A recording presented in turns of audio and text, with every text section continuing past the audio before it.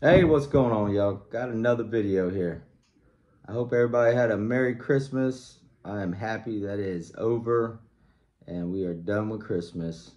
And uh, anyways, I had a long night last night. We were having Christmas get together in the neighborhood at a, over at a neighbor slash friend's friend's house. And anyway, so I uh, I was up late and waking up and I'm drinking a bunch of coffee anyways, I wanted to do a video because I got some new things here for Christmas. And one of them was a gift that uh, a family member gave me, and I thought it was, I thought it was pretty neat. Anyways, I just wanted to show it and to kind of go through the kit and kind of give my thoughts on it, whatever, my opinions on it. I don't know anything about the company, where they got it from, you know, and all that, but it was a gift for Christmas uh, for my mother-in-law, and she knows I'm into the whole survival and preparedness and stuff, so that's why she got it. And uh, so anyways, I just wanted to kind of show it and go through it and then take a look at it. Uh, I really haven't opened it up yet. Uh, I just kind of vaguely looked at it. But anyways, it's a survival kit, which I have tons of survival kits. I have a lot of Black Scout survival uh, survival kits. Those, you know, the ones I always recommend for people to buy. And uh, I have uh, other survival kits that were through other companies and other people. but, you know, I, I got plenty of these, but for me, it's always good to have plenty of survival kits, especially like in different kits, different bags, packs, vehicles, you know, in the house, whatever. It's just good to have these uh, kits because uh, you never know when emergency or some type of disaster uh, or survival situation comes up or SHTF and you might need these items, you know, to stay alive. So uh, it's just good to have, to be prepared and be ready. So anyways, but the company here is called, I don't even know how to say this. Uh, what is it? Vit Vitorlo? Vitorlo, I think is the name of it. Anyways, this is the user guide that comes with it. It also has, uh, does come with a spork in here, which is basically like a multi-tool. says be careful when it separates. The, spork the spork separates, so be careful. It has a sharp knife. Uh, and there it shows you the the blade side and how to open it and all that. So it does come with sporks. So that's actually a very good item to have. It's all I always keep one in my get home bag and in my backpacking type setup. Any I always keep some type of spork or some type of utensils uh, just in case. And even for like traveling, it's always good to have some utensils because you know if you can't find any plastic ones or you don't want to use plastic, uh, it's good to have. Uh, and the titanium ones are lightweight so just good to have these options. So it's kind of cool to see they put that in there. You gonna get some breakfast? I got the kids here. Mommy's uh, doing returns and some more Christmas shopping on her end that from, from me. So anyways, which this is actually one of my new shirts for Christmas. And y'all Yellowstone fans, they take them to the train station. Anybody watches the show Yellowstone knows exactly what that means. And I love that saying in the show, uh, what that stands for. So, anyways, but this is the kit. Comes in a nice uh, container. Uh, it's not waterproof. It does have the cheap plastic clips here, you know, that open up. I think there's four. Yeah, two on the sides, two on the front. But uh, it does have a foam uh, case in here, so that's good. It you know keeps everything protected, but it's not waterproof. So I would definitely probably get rid of this case and I, I would buy like a, a Pelican type case that's waterproof and that would keep all the gear in here more protected. So that's kind of the case right off the bat. I do like it has, it has a little bag like this, but it's not really necessary, but it's nice it has that. Yeah, there's the company right there. Anyways, uh, I'm not for sure where it's made. I mean, I'm, I'm thinking it's definitely from another country here with the name it sounds like but I don't think this is American USA uh, you know made or whatever. Uh, probably China you know probably a kit from China but they have uh yes. Okay I will hold on give me a minute let me do this. All right um anyway so I'm just going through the book here and I, they got pictures in here you know, so showing families, you know, kids. All right, go go watch TV real quick, and I'll get you I'll get you cereal here. Oh, it does say it's a waterproof case. It says, it says it right here, but I wouldn't, I wouldn't say that's waterproof. I don't even see a rubber seal. All right, here's the spork with the knife that they were talking about. So basically this uh, little guy here is just going through the kit. Uh, it's got the carabiner, it's got the bracelet, survival bracelet in here. It's got a glass breaker. It has a tactical pin in here. So I'm gonna go through this book real quick just to see all the content and show it. It does have one of those multi-tool cards, which I'm, not a big fan of those. Kind of think it's a waste of space. Um, I'd rather just have a small multi-tool. Does have a blade in here. Basically, uh, it's a folded knife. But, you know, it's got the seatbelt cutter on the glass breaker, all that stuff. Uh, looks like a serrated blade. I'm not a big fan of the serrated, but they are good to have to cut rope. Does have a fire starter. Has that up. We'll see what that is. The tactical pin. I was kind of going backwards here on the book, so I'm going to go back this way. All right. The knife. The survival bracelet.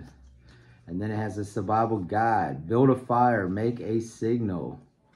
Um, identify the direction. Navigating. Make a shelter.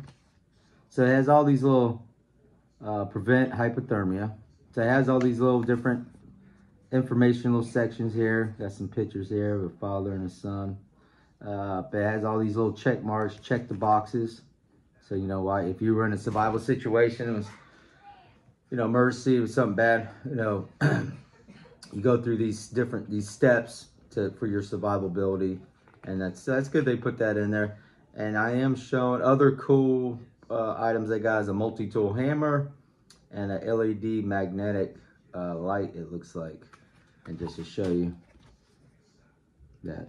So anyways, that's that's what's in this book, and it has a survival guide uh, step by step. But anyways, but it does have a uh, emergency blanket, so that's always good to have. Definitely want that, and that's another way of a source of shelter, but also you know hypothermia. Here's uh, the multi-tool card. I would get rid of that. Uh, I don't see why anybody should have a pin, especially a tactical pin, uh, in a survival kit. Um, that for me, that's more like EDC and and uh, something I like to keep in my get home bag because I always like to make sure I have a pin on me. But uh, basically, this uh, has a glass breaker, a non-slip threaded design, rotate to replace the refill. You So you can refill it and ride in smoothly. But you know, it doesn't have anything on it. It's just a pin with a glass breaker. So for me, this isn't something you need in a survival kit. So I would definitely take that out. But it's always nice to have an extra pin. Uh, the survival bracelets, not a big fan of these. Uh, it does have a compass, a whistle, probably uh, has a ferrocerium rod and it has a striker on it to, to get a fire going. So there's your ferrocerium rod your striker to get a fire going, but I would not bet my life on this and the whistle and all that for emergencies to get somebody's attention. For signaling, I would not bet my life on this, so definitely something. Uh, here's a carabiner that comes with it, so you can clip this to your bag, attach it to a pack, to MOLLE. Uh, but I don't like, I definitely wouldn't want something like this on the outside of my bag attached to my, my person or my bag, flopping and hitting, going all over the place, and then a chance of it falling off and you losing it. So but it's kind of cool they did put that in there. But I could use this for something else. Um, you know, on a kit. Um, I can use this on my bag, but using it for something else. And here's the knife. Just check out the blade here. Uh, it flipped open pretty good. Not too bad. You know, but it's just your standard, you know, $20 knife probably. And it's got a nice pocket clip on it, you know, I got my Black Scout folding knife I always carry, but just to see. Damn, these shorts here are real thin, so but damn, I can't even get the pocket clip on. Okay, but it does stick out. Does stick out here, so you know it's uh, it's not like the my one I always carry that sits in a little bit deeper. So that is, uh, doesn't sit low in the pocket. Has the glass breaker on it, which, you know, and the seatbelt cutter, which I don't need that. Um, But you know, it's kind of good to have for these emergency type knives.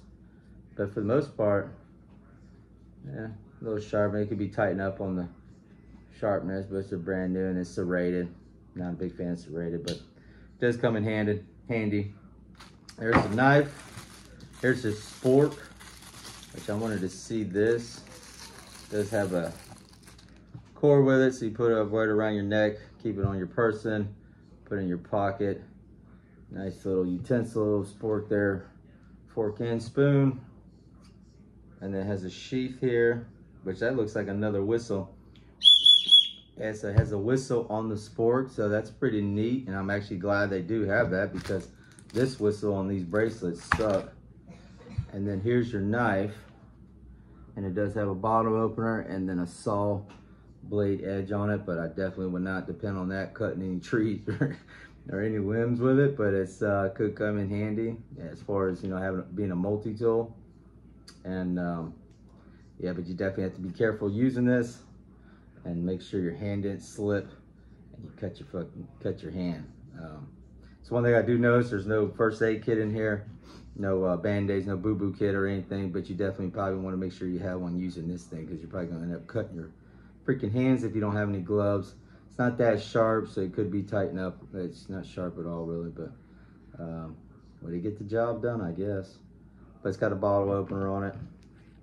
But I do like how it has a sheath here for the blade and has the whistle on there. So that's kind of a cool option, but you definitely be careful putting this back in because this is cheap plastic and it would probably split apart and then poke your, cut your hand that way too. So definitely have to be careful of that. oh, it does have a ferrocerium rod and a striker, so that's not your only way to start fire, but you lose your kit and you got this bracelet on, at least you have something. You have your cordage and you know, compass, whistle, signaling, and a way to start fire, but this is your actual ferrocerium rod here, which I'm trying to get open, but good size ferrocerium rod. Try to untie all this. There's the cord on there, which, okay, anyway. But uh, just to see, uh, check it out.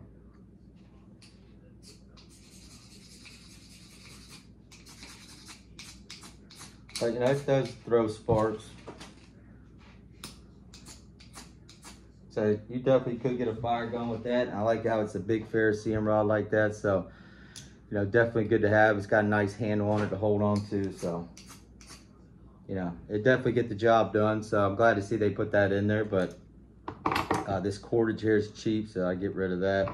And then, you know, attach some paracord to this. Uh, anyways, not bad, you know, for what it is. Uh, it does have a flashlight in here, so it's got one of these little, you know, tactical flashlights, which, you know, you got to take the cover off the battery here or whatever for it to get to work. I'm sure it has the battery in it,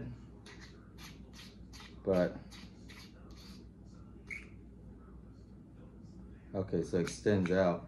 Uh, so it's got the extension on it, so the battery be back here. Right, no batteries, so I have to put a battery in there, but I don't know how bright this light is, but it's just a cheap, small little uh, cheap flashlight you buy on Amazon. It does have a pocket clip on it, so you know, it's nice to have. You can put it on your person, in your pocket, but it does extend out. So I guess adjust the, the light itself and uh, the lumens. Uh, so it does have that option on there, it looks like, but no battery. So definitely had to, wish I can't put a battery in for shipping purposes. Uh, here's the tactical pin, which I talked about earlier. It's just strike bells on. It does got a nice little uh, glass breaker on there. Big size, like most of your tactical pins. I have the Black Scout Survival tactical pin, and plus I made my own tactical pin. Jack with Black Scout showed you how you can buy two pins and make an all stainless steel tactical pin. You could use it for uh, you know, self-defense, but Black Scout did make one years ago, and I do have that one, and that's like the best tactical pin ever. But uh, uh, awesome design and awesome setup. Feels great in the hand, but this one's like your standard bulky uh, tactical pin. It's not really fun to carry on your person, but it is a pin, and you can refill it, so that's good. Uh, but I definitely probably keep this in my folder uh, for work, and this would be my backup pin just to have. But here's the pin. Uh, it does have one of the saws in there, those little hand saws, which I'm not gonna take out, but uh, these things break all the time. There's certain companies, you know, there's a company that has like a chainsaw type saw blade. It's like an actual chainsaw and it has the big handles on it and it's made, I forget the company, but you know, that's, that's definitely one I would recommend having. But uh, these cheap ones like this, yeah, they break all the time and definitely not something you want to depend on to, you know, bet your life on. But uh, would it get the job done maybe for a certain period of time or small limbs and stuff to get a fire going? Yeah, or build a shelter, I guess. But yeah, these break all the time, so. And, you know, and for the quality, you know, the company is, I don't know where it's at, which is probably out of China. I mean, this looks mostly like China, but um, anyways, it is what it is. I don't know how much this kit costs. Like I said, it was a gift for Christmas from my mother-in-law, from my family member, but I don't know how much she paid for. But anyways, but you get what you pay for. And uh, when it comes to survival kits, that's a big, uh, you get what you pay for. So it has a small little fishing kit though, and I'm surprised that this is in here. but it does have a small fishing kit with a lure and a hook and some line, but could you maybe catch some fish with this? Yes, but it's only one color, one bait, and uh, only one type of uh, lure. So, uh, you know, if anybody knows anything about fishing, you know, fishing is a lot of patience, but also you want to have multiple multiple colors. I have a fishing kit that I put together in a small survival container from Black Scout. Uh, I made that personally with a lot of the items I know that works for down here in this area and freshwater uh, to catch fish. But you know, you want to have multiple colors, different lures, and different uh, setups. So, uh, could this work? Maybe, but um, yeah, wouldn't bet your life on it. So, anyways, it does have that option. Uh, no way to purify water. I don't see that. Water is number one, uh, especially down here in Florida during the summertime. Uh, if you don't have water, clean water to drink, you're gonna die. So uh, anyways, it doesn't have a way to purify water. And yeah, the Mercy blanket I already talked about. But yeah, I don't, I don't see that. But there's a lot of missing stuff in this kit. But you know, it is what it is and you get what you paid for. Could you use it in a pinch? Probably. But I don't, there's a lot of stuff that's missing in here that you could go through and pick through and compare it to other survival kits. And you can go watch my other videos on Black Scout survival kits, which Jack still has one that he sells. Uh, that's an awesome kit. And uh, but there's a lot of stuff missing, you know, looking at this. So you could just go through a, a list of things that are missing in here. Does have the foam here on the bottom, but like this case isn't, this isn't waterproof and it definitely would, everything would get wet. So I wouldn't, you know, depend on that. And uh, yeah, a lot of stuff that could be better but for what it is and what the probably the price was, I don't. It's for me stuff like this isn't worth buying uh, because for me survival kits are something I'm, I want to make sure I can bet my life on. That's gonna have everything I need for survivability and be there when I need it and work and and be good quality stuff. So for me, I'm gonna spend more money on a good survival kit than buying these cheap stuff. And this is like this right here is why I did a YouTube channel to not be YouTube famous and make money. It was to help people out there and to stay away from companies like this and to recommend the companies that I see that I think that you can bet your life on. So this is why I do the YouTube channel. So, uh, or do the videos. So it just, and that's kind of why I'm doing this one to show this kit and all that. But anyways, but the other thing I wanted to show that I picked up and I bought this personally, but it's, uh, was a Survival Outpost. Uh, Survival Outpost, uh, was talking about this again. This is what he uses in his own uh, backpacking type, uh, you know, get home bag or uh, bug out bag type uh, way to purify water. But I've always wanted one of these and I've been wanting to get one. I just kept forgetting. I'm gonna use my knife, but uh, just sharpen mine too. So. Anyways, I've always wanted one of these and I love having multiple different ways to purify water. To me, water is number one and uh, I, that's very important to me. And, and when it comes to survival and survivability, if you can't have clean drinking water, you're not to make it. So, and we were actually just talking about this last night over at some friends' houses. So this is the BeFree water filtration system. Now this was on sale on Amazon uh, right now. I think it was like 30, 20% off. I think it was like 20% off. But anyways, I got a, I think it was like 38 bucks for this, uh, is what I paid. And Survival Outpost was just talking about it and then reminded me and was, you know, talking about this. And he's a big uh, supporter of this company and big believer in it. And it's just easy, simple, reliable, durable, and get the job done where you can have clean drinking water and be able to survive. And not just for survivability, or you know, uh, survival situation, but also for backpacking, you know, hiking, whatever. You scoop this down in here, fill it up, fill the bag up, put the top back on, and uh, boom, pop the top, and you got you got water. I mean, it's that simple, lightweight. Uh, I really love this option, and I, like I said, I've been wanting one of these for a while, but I've got so many different companies that I that I have, but I never think you can have too many ways to purify water. I'm just trying to figure out how you pop this top off. Is it because it's new? Oh, okay, there we go. Yeah, so it's new. But anyways, pop the top, boom, close that, and you got clean drinking water. It's got the measurements here on the bag. Um, yeah, swish it around.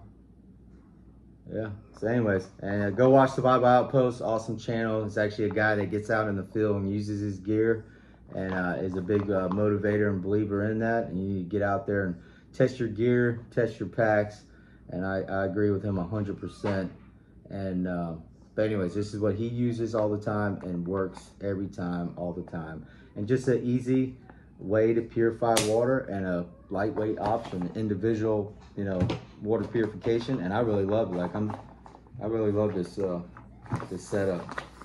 You and you can just get all the air out of the bag and seal it back up. And then you can stuff this in the little side pocket on your backpack. I'm gonna put that on the, on my 50 liter pack. I'll put it on the side there and that way I can get to it, find a water source, fill up, boom, good to go. But dude, that's awesome. Like BeFree company. Bags, one liter. Uh, free flow channels. Easy cleanup. Uh, good morning, big boy. My son just woke up here. We're all just getting up here and recovering from last night. We had a long Christmas and a long holiday weekend. It also rained over here, yeah, so we had a wet one, but then it dried up later in the evening. Uh, but stay clean, drink water purification. I'm just trying to see uh, wide mouth, 42 millimeter flash opening, easy flowing, comes right out, removes 99.9 bacteria, and uh, ultralight combat flexibility, ultra fast flow, ultra fast flow, shake to clean. So awesome product, and uh, like a kit like this, I don't have any way to purify water. You gotta have this. So uh, this is a must. But anyways, guys, just wanted to show this kit, show that new product that I picked up. Definitely pick these up on sale. And uh, take care, God bless. And uh, yeah, when it comes to survival kits and preparedness and prepping and all that stuff, uh, you know, I always recommend the good companies and companies to buy from that you can bet your life on and products that are gonna be there for the long haul, but also take care of you. Like Nutrient Survival, the Black Scout Survival Kit that they sell. So if you're gonna buy survival food, uh, long-term storage food, uh, freeze-dried food, uh, Nutrient Survival is the way to go. And, uh, you know, just spend, uh, these days you gotta make sure you uh, invest your monies in the good companies and, and companies that you can, that you know that are there for you and good for you. So anyways, guys, take care, God bless. See you on the next one. And, yeah, all right, y'all.